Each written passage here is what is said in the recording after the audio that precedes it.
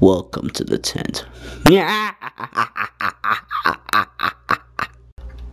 Previously, Humpmaster Flex um, made a video debunking um, my previous video uh, supposedly uh, showing PS3 footage of Battlefield 3 um, on a trailer that was uh, shown by Machinima. Um, um, I just found some more evidence proving him right. It is official, um, Battlefield 3 on the PS3 is running at 30 frames per second and is sub HD.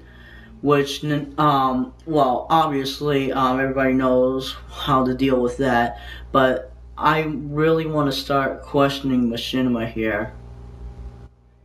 How did this footage come to be?